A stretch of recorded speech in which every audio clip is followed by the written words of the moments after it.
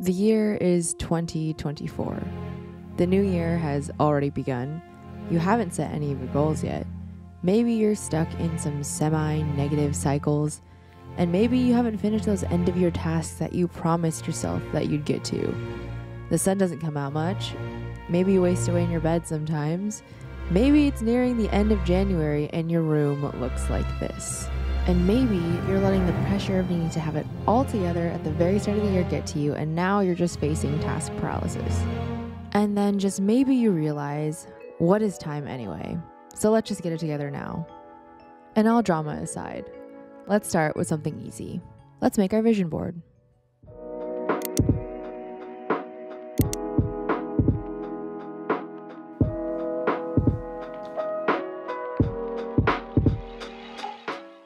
So, in 2024, I am looking to accomplish a few things, but particularly one thing that is an overarching goal of mine is to heal and find healing in numerous areas of my life. And I came across this video slash podcast the other day about clutter and childhood trauma and how messiness and hoarding of items, or whatever it may be, is connected to a trauma response in some way. And I moved a lot as a kid, so I reflected on this naturally after watching this video slash podcast. And this doctor shared her own research about how people with traumatic experiences at a young age do have these nesting habits of making messes and can't keep their space clean or can't let go of certain items. And that very, very much resonated with me. There was so much more that I could probably share, but I'm not the doctor, so I will gladly link it down in the description. And I have always, always dealt with myself and being messy. And I've always just kept things, made piles of things, and cannot keep my space clean for the effing life of me. So I decided to embark on the journey of decluttering everything. And I mean literally from the corner of my closet to the cupboards of my bathroom to folding every sock that I've been avoiding for the past six months. So, step one, let's declutter and clean the shit up.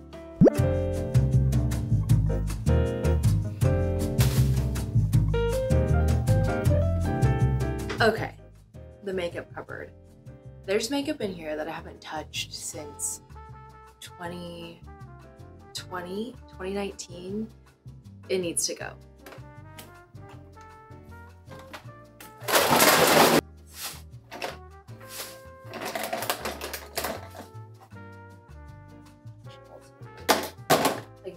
I use this. Am I ever gonna use this? Probably not. Even going to take this up a notch by cleaning out the bins. I think I should go wash it in the sink with like soap and a sponge because that stuff is not. So that did the trick. I have this fantasy of being a minimalist and because like when it comes down to it, I actually don't need a lot of stuff. I think no nobody really does. And even with my makeup and my hair, like I'm pretty minimalist when it comes to just like everything now. So I don't know why I hold on to so much stuff. So that's kind of my goal with this declutter is like just to really let go.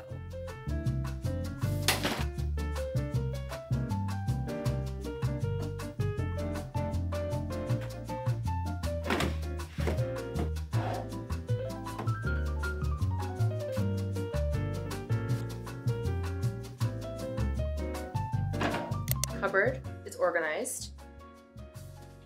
Now it's just keeping it like this will be my challenge.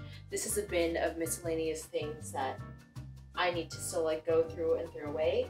That will be complete before tonight because I'm trying not to leave little piles for myself because I always make a little pile of things that I think I'm gonna take care of later and then I just don't get to it. Um, another thing is I got this shower head filter for Christmas and I should just put it on. It has all these layers of filtration and the rain shower head. So I'm gonna take that bad boy off. Um, and One of my goals this year was to incorporate more luxurious experiences at home because why not? Make sure to take this with me when I move. Oh, welcome to your new luxury experience, it says. Installing in the box. Blah, blah, blah. Before installation, remove, rinse water through your new filter for 60 seconds. Flip the capsule and repeat for another 60 seconds. That's to take this off and then clean out debris with. This is just like a toothbrush I got off Eva, Eva Airline. I'm scared what's gonna be discovered in here. Oh, not bad.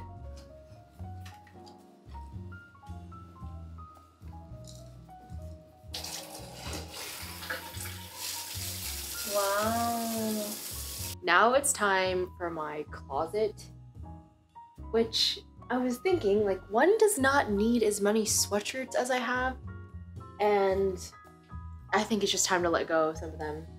Like, ultimately, I have all these clothes that I just like run through, and then I just have way too much laundry to do, and then the laundry piles up, and then there's just too much to deal with. So I think it's time to let it go. White essential sweatshirt that I thought I already got rid of, gone. Random black sweatshirt, gone. Brown Aritzia sweatshirt, can keep. Black essential sweatshirt. One thing that came up in the video that kind of ignited this movement for myself was the notion of getting rid of shame clothing. Any clothing that I think I'm gonna fit into, or like once I lose weight, I'll wear it, or like it'll look better on me. Like it's just time to get rid of those. And that is okay.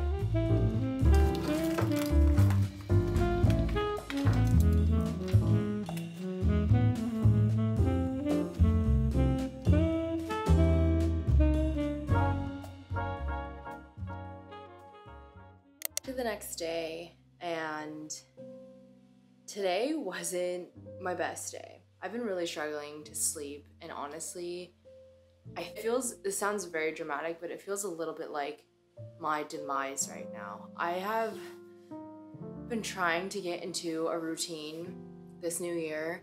I mean, it's only midway through January, but I've been trying so hard to get into a routine and I have been struggling so hard to sleep. And it just hitting so hard how important and crucial sleep is to our lives and I haven't been getting the best sleep. So last night I started, you know, my decluttering and cleaning last night and I could not could not go to sleep for many reasons. On top of that, my puppy, Kuma, would not sleep either and he was just up all night. He was crying, he wanted to play. He was just more awake. He had a little nocturnal moment last night. And honestly, that that's also why I've been struggling to get into a routine is having a new puppy, dog, mom life and navigating that, working from home and just not sleeping. That's honestly probably my underlying issue of all of this is just I do not get good sleep. Finally trying some new things and I feel like I've tried a lot and there's a few key things that I knew that I already have been given advice about and I knew that I should we have to kick this to the curb because I have too many things I want to accomplish this week, this year, this month, every day, every day. So we gotta we gotta figure this shit out. I got the loops earplugs. I'm getting ads for this on Instagram for like concert headphones. Um, I'm really in my protecting my hearing moment this past year, um, especially going to my first festival. But this is what it looks like. This, this is the loop quiet, so it's supposed to be obviously best for sleep and ultimate noise cancellation. It's very cute packaging. Target demographic has indeed been reached. Apparently, these are good because you can fold them into your ear. Oh, that's nice. My current earplugs don't fold into my ear like these ones do. I think these ones are a little too big. So I can't really sleep on my side and I am a big side sleeper. Last item that I'm very excited for that I've been wanting to get for quite some time is this pillow that I discovered on TikTok. It's that is it's the cervical pillow actually on a sale today, which is meant to be. A memory foam cervical pillow. Let's let, let's let the air in this bad boy. It's supposed to help with neck support, side sleeping, because I tend to roll over and then smush my face. So I'm gonna let this gain its air and then show you later. it looks so funny. It looks like a big like I've been restarting 75 hard like every couple days because of this situation with my sleep. And frankly, I'm just trying not to get sick because I know if I don't sleep and then I push myself, I will ultimately get sick because sleep deprivation decreases your immune function. I'm not trying to do that. So I've been trying to be intuitive whereas that goes. I thought it would be lovely to kind of do my first evening of really great of a really great great like wind down sleep routine because I want to practice better sleep hygiene obviously. So I'm actually gonna do a little like romantic get ready for bed. Just I'm like anything helps please. Some things to make a little mocktail before we sleep. Tart cherry juice, magnesium, and I'm gonna make a little mocktail. I'm gonna eat something first, make my mocktail, do my routine in the bathroom. I'm so and then we're gonna we're we are getting out of this little funky time tomorrow, okay?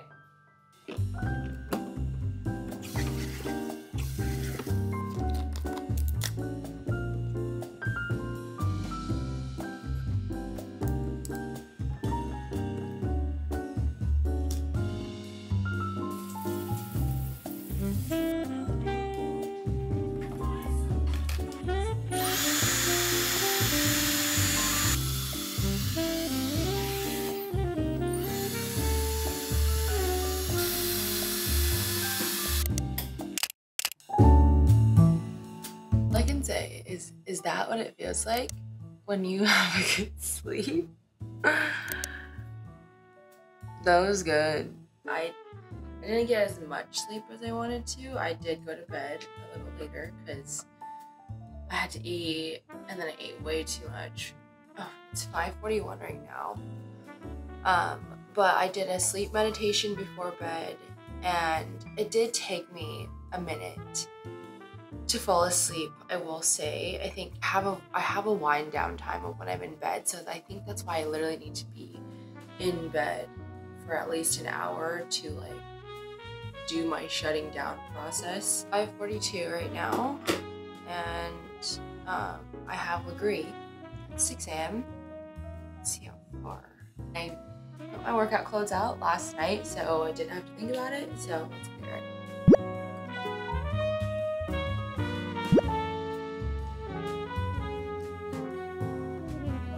every intention to vlog during class today, but I was just too busy getting my ass kicked. I truly feel great and I'm just gonna ride this high today.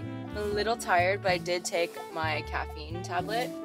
It's 100 milligrams of caffeine with some L-theanine in it, in the capsule as well. So 100 milligrams, I feel okay still drinking like a little matcha. I was shaking and struggling in class, but it, it's that that's a good thing. Um, I booked another class for Sunday and then Tuesday, I believe. But um, I am headed back home now. I'm gonna go get Kuma ready for some walking.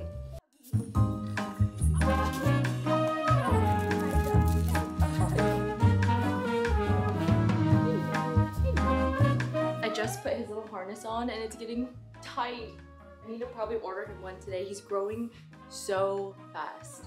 Kind of tight here. I had to open it up a little bit wide. You look like that. I'm gonna leave the camera here so I can focus on the little man.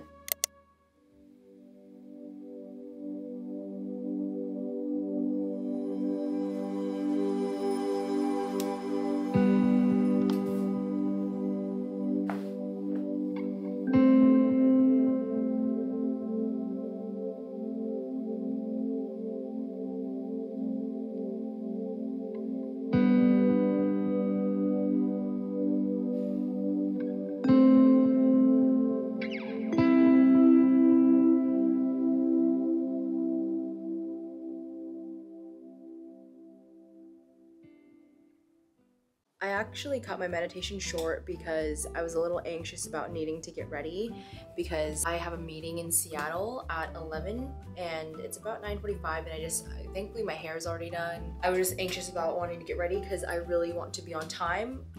Uh, punctuality is something I'm working on. So I was a little anxious about that and it just was playing over and over again in my head during my meditation. And I was just like, I'm not, I'm I'm really resisting myself and trying to be present in this meditation. So I'm gonna, we're, we're gonna have to do an evening meditation, which is fine. I'm gonna do an evening meditation before bed, and then my visualization exercise too before bed, Um, because um, I didn't get to do this morning. Our meeting was originally at 12, so I had mentally planned to do all of this in the morning, but we pushed it up an hour early, so I must get ready, and then Kuma is also coming with me because we're going to a dog-friendly cafe and then I have an open house today at, well, so I have a meeting at 12, probably about an hour. I have to come home, do some admin work on the computer, have an open house at 3 to 5 p.m. And then I'm actually gonna go pick up my little sister because she wanted to go see Mean Girls, which I heard mixed reviews about. So it's it's more so gonna be to spend time with my little sister, of course. Busy ass day ahead of us. I almost forgot, but I gotta take a cold shower. So making it the coldest again. Oh, the pile! I never took care of the pile. I was screwed. I didn't record that because that was dramatic. But that was cold. Usually I do a pretty good job and I usually make it to five minutes. My parameter is three and a half to five minutes and I did three and a half because it was cold today. Let's get ready. And I'm running out of some of my face products. I just ran out of vitamin C, which is a little unfortunate because I could use some brightening. Let's see if there's any left. Ooh, there's like a drop in there. I've been using the Paula's Choice. I really like it. I like mixing it with my moisturizer. my moisturizer's almost gone too. I got all my Laneige products at the duty free when I was in Asia. And I love buying skincare at duty free because obviously no tax and sometimes the currency for the most part is a little cheaper.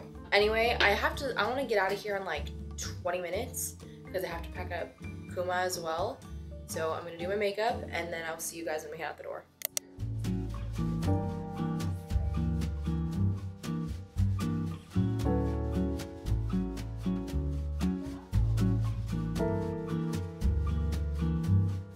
I'm at my open house now been a busy day so far, but I actually, I went to coffee slash lunch snack and met with Rani, who's my real my, my previous real estate mentor, still kind of is, but we're partnering up on a lot more things this year, which I'm really excited for. I didn't vlog anything at the cafe because I was so into our conversation, which is a good thing. Um, but anyway, I'm at one of her listings now hosting an open house. It's also a Friday, so I'm not necessarily sure if there will be lots of traffic. Fridays are hit or miss with open houses, but I'm also also hosting one tomorrow, 11 to 1. Weekends are better, um, but sometimes I like these Friday open houses because just you, different different sets of crowds come in when they do. It's always fun to see because the weekend crowd's always like typically families, things like that.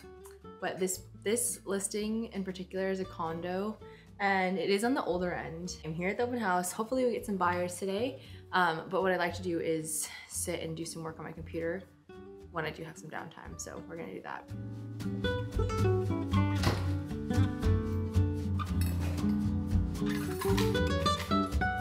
I picked up my little sister and we're here at a vegan Thai restaurant. Oh, thank you so much. We just put in an order, but it's been really nice. We've just been chatting. My sister is almost 14 now, so I'm having like really grown conversations with her. It's kind of crazy. it's good, it's good. I feel like my head's really in there. Look up.